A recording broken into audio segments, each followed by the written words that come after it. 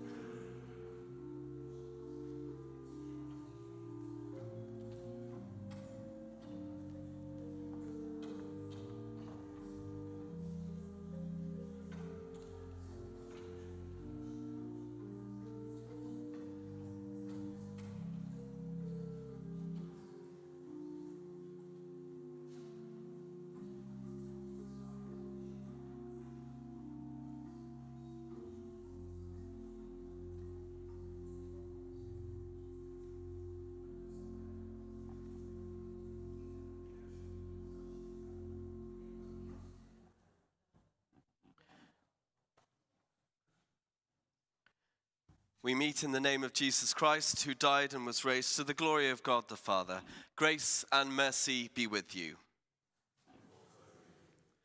Good afternoon and welcome to St. Margaret's as we come together to remember our brother Roger. And um, at the same time, because, um, because of how these events have come, we are very much also remembering Delphine. And it's a chance to bring the families together um, saying goodbye to Roger on a very cold morning in Guildford in January earlier this year was, was quite difficult. Um, so it's much better that we have this moment now to celebrate his life fully um, and uh, to share memories afterwards of his time with us. But let us begin our service by bringing to mind one happy memory of our time with Roger.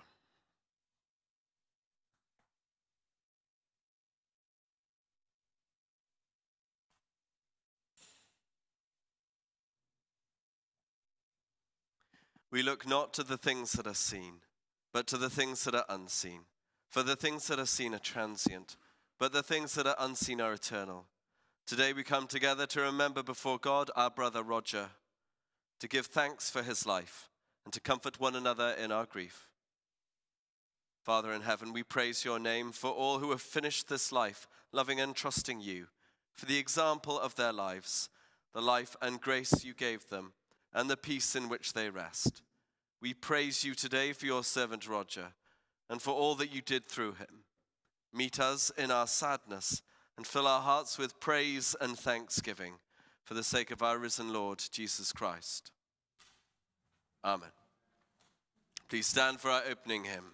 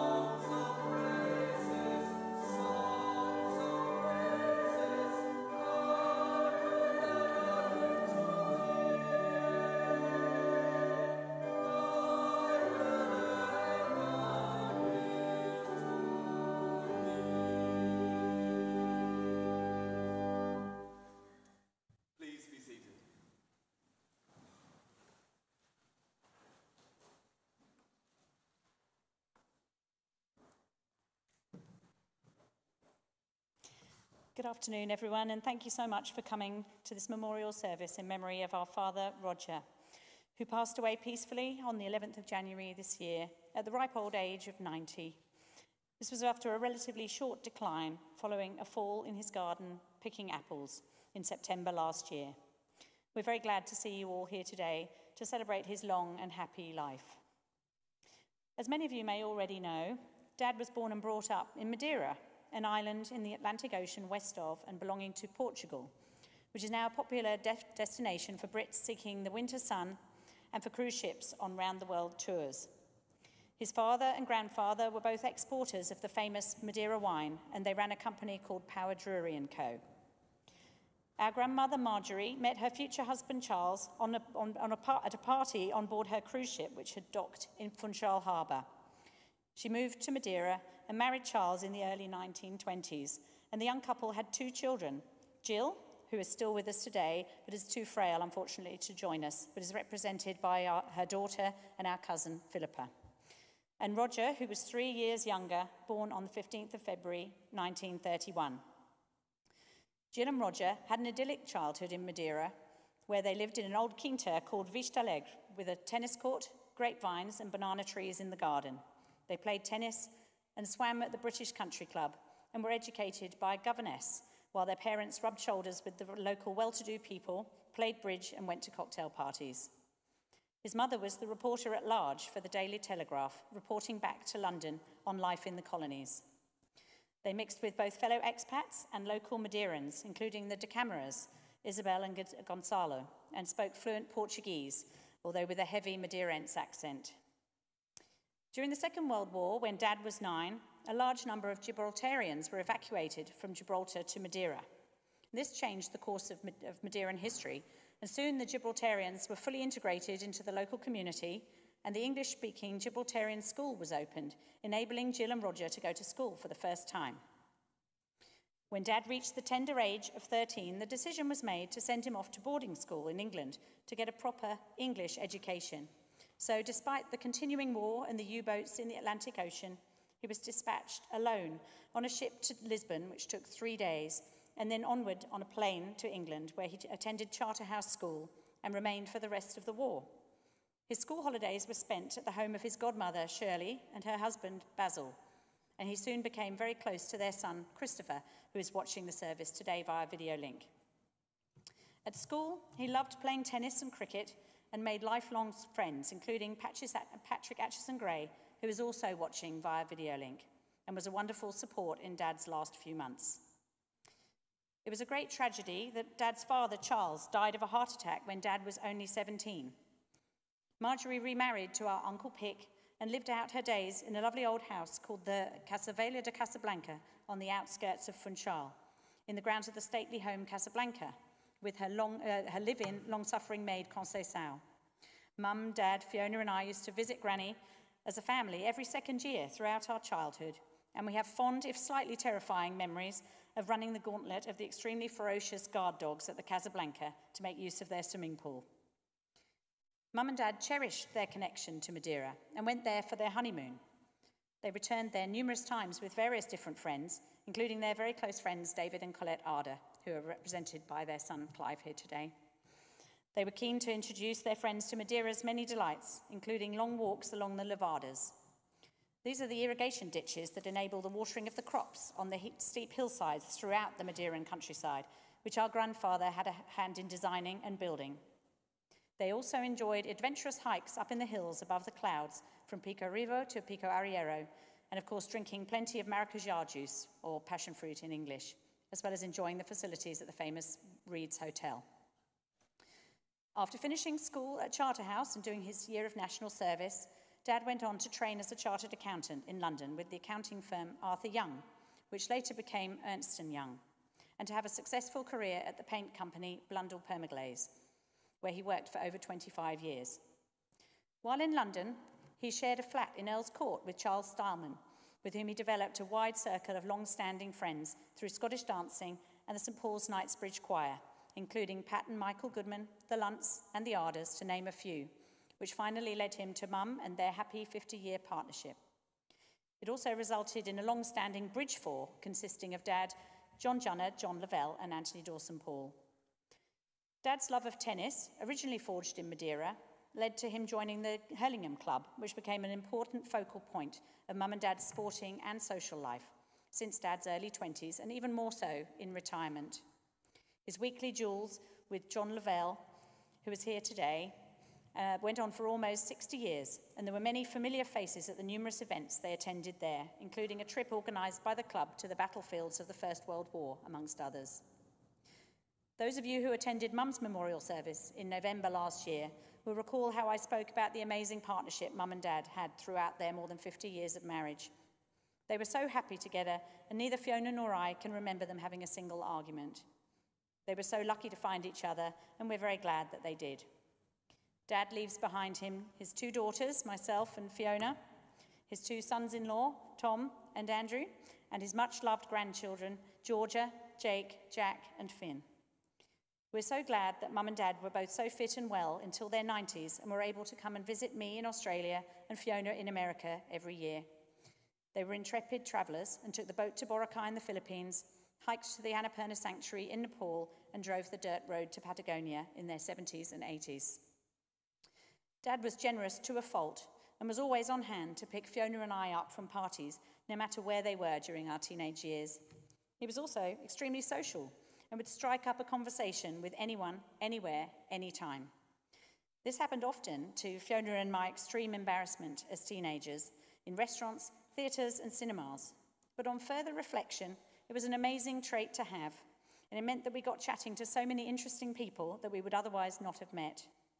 I will never forget Dad doing the circuit poolside at Reid's Hotel in Madeira and collecting a fascinating group of people, none of whom knew each other, to come to a drinks party at our grandmother's house that night. He was a good, kind friend to many, some of whom have been able to make it today and are, atten- are attending via video link, and a generous and thoughtful host. He was also the driving force behind our family's love of long country walks, striding off into the distance on one of his famous shortcuts which inevitably led to us getting completely lost and walking twice as far. Fiona and I still love our English country walks to this day. Fiona and I love Dad dearly and will always miss him, but we take some comfort from the thought that he is now reunited with his adored and adoring wife of over 50 years, Delphine. Rest in peace, Dad.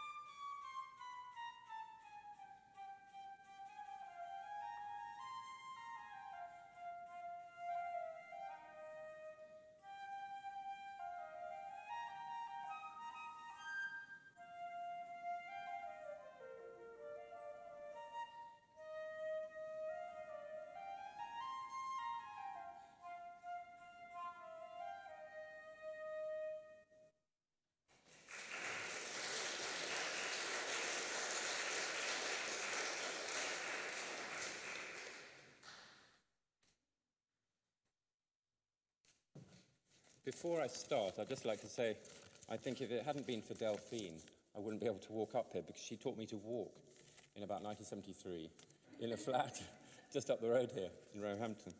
And uh, you reminded me, I also remember running the gauntlet in Madeira and uh, escaping the wrath of your father at 4 a.m. in the morning coming back from a nightclub.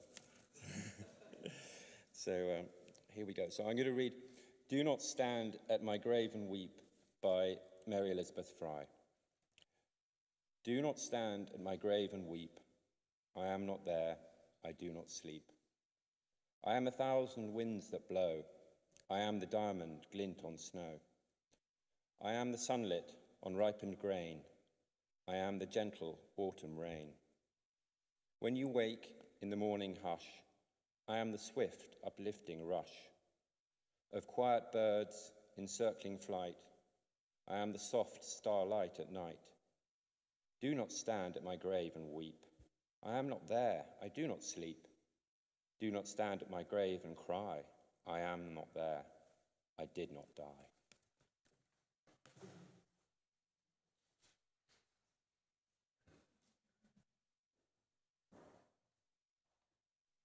Please stand for our next hymn.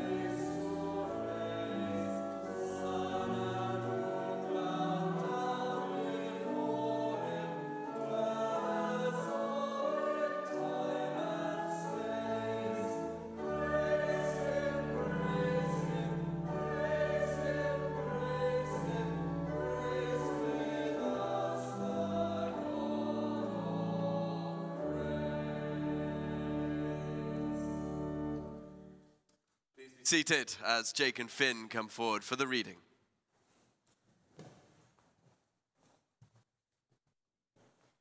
Jesus said to his disciples, Do not let your hearts be troubled. Believe in God. Believe also in me. In my Father's house there are many dwelling places. If it were not so, would I have told you that I go to prepare a place for you? And if I go and prepare a place for you, I will come again and will take you to myself, so that where I am, there you may be also. And you know the way to the place where I am going. Thomas said to him, Lord, we do not know where you are going. How can we know the way? Jesus said to him, I am the way and the truth and the life. No one comes to the Father except through me. Peace I leave with you, my peace I give to you. I do not give to you as the world gives. Do not let your hearts be troubled, and do not let them be afraid.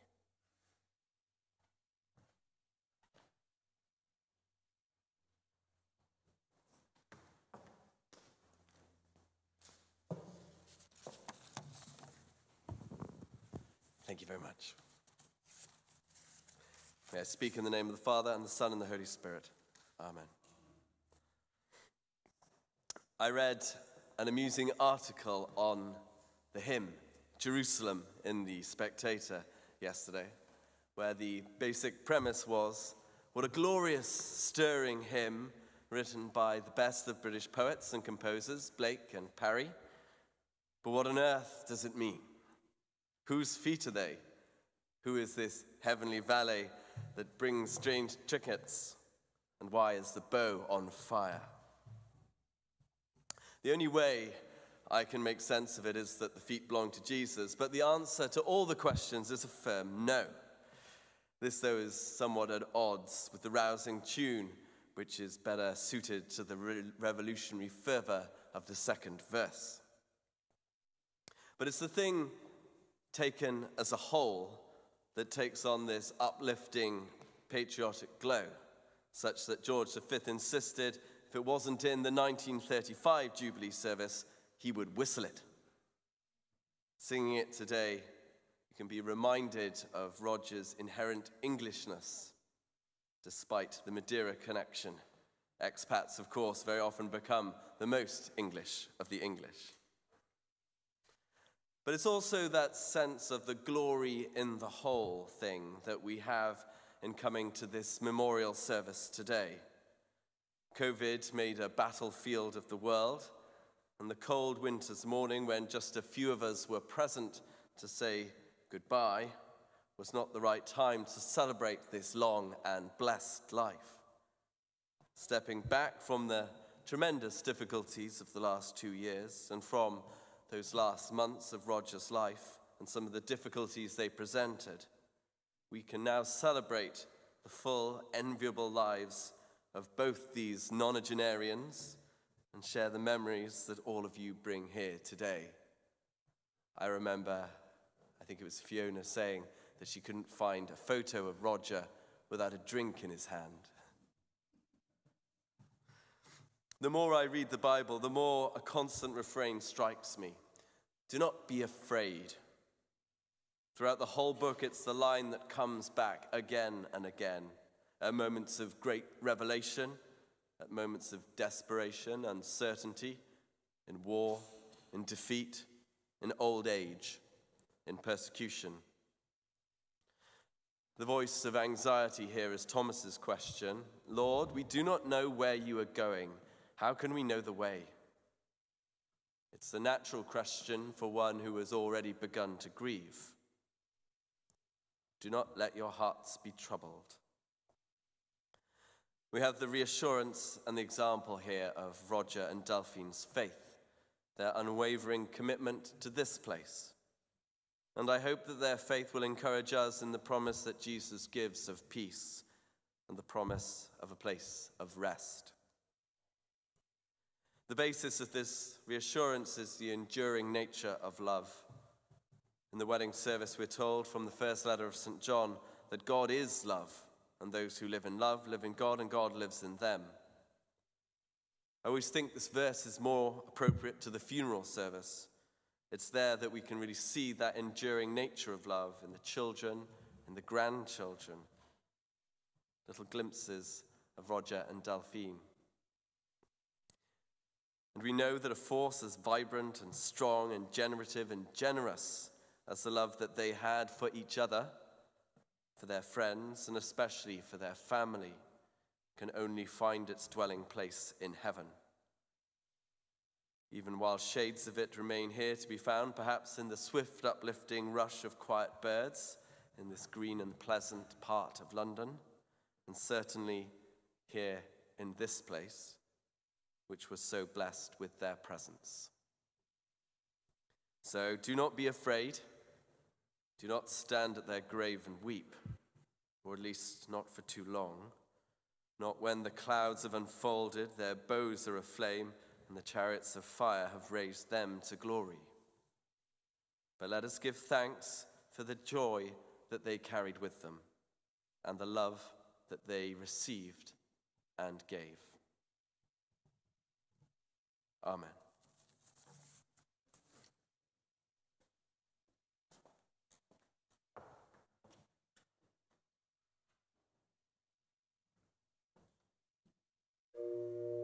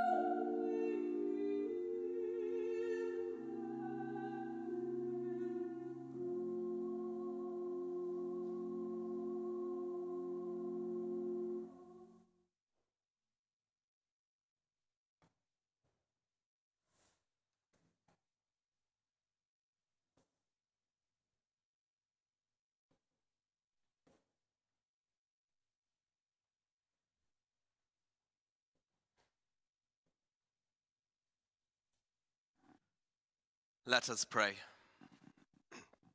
God of mercy, Lord of life, you have made us in your image to reflect your truth and light. We give you thanks for Roger, for the grace and mercy he received from you, for all that was good in his life, and for the memories that we treasure today. Lord, hear us. You promise eternal life to those who believe. Remember for good this your servant Roger, as we also remember him. Bring all who rest in Christ into the fullness of your kingdom, where sins have been forgiven and death is no more. Lord, hear us. Your mighty power brings joy out of grief and life out of death. Look in mercy on all who mourn. Give them patient faith in times of darkness. Strengthen them with the knowledge of your love.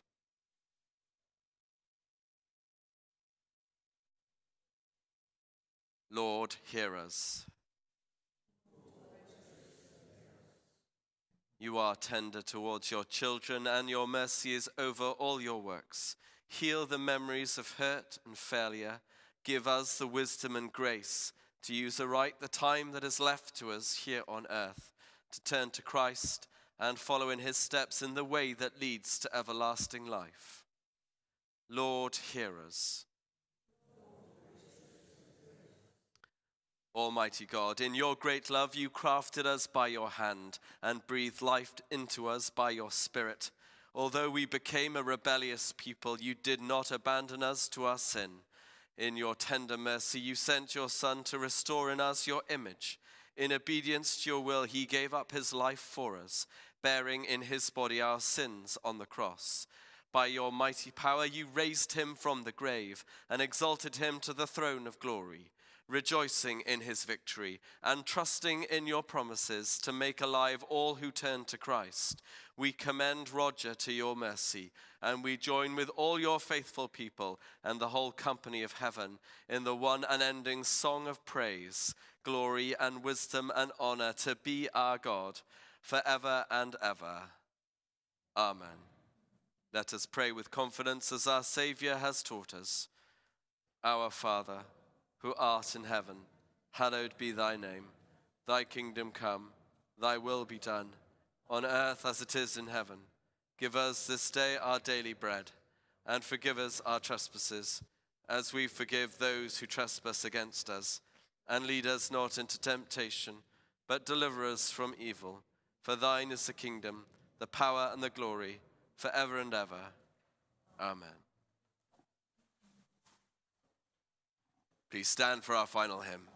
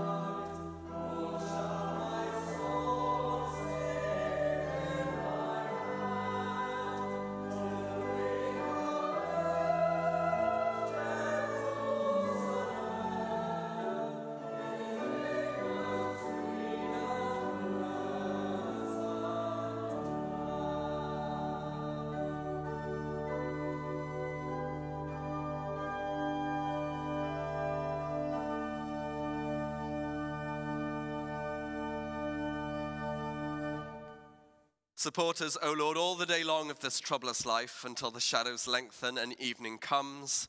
The busy world is hushed, the fever of life is over, and our work is done. Then, Lord, in your mercy, grant us a safe lodging, a holy rest, and peace at the last. And the blessing of God Almighty, the Father, the Son, and the Holy Spirit be among you and remain with you always. Amen.